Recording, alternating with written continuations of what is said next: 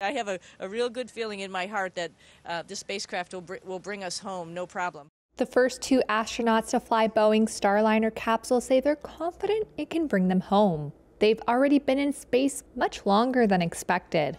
Barry Butch Wilmore and Sunita Sunny Williams had their first news conference since docking to the International Space Station more than a month ago. Absolutely confident. Um, I, I feel confident that if we had to, if there was a problem with the International Space Station, we can get in our spacecraft and we can undock, talk to our team, and figure out the best way to come home.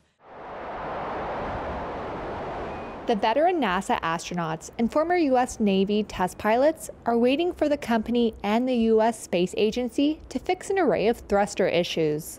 They were launched aboard Starliner on June 5th from Florida and docked the next day at the ISS. They were supposed to spend about eight days there. Now, their mission has been extended indefinitely due to a series of issues with Starliner's propulsion system.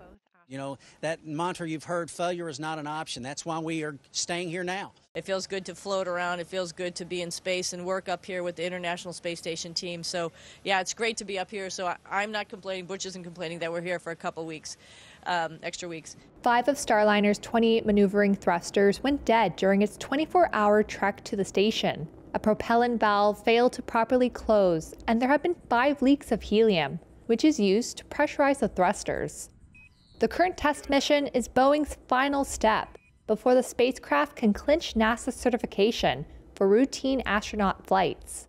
That would make it the second U.S. orbital capsule alongside SpaceX's Crew Dragon.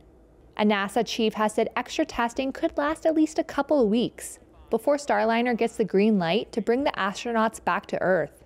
NASA and Boeing have said it is capable of getting them home in the event of an emergency on the ISS but the capsule is not approved to fly home under normal non-emergency circumstances until its thruster issues are resolved, or at least better understood.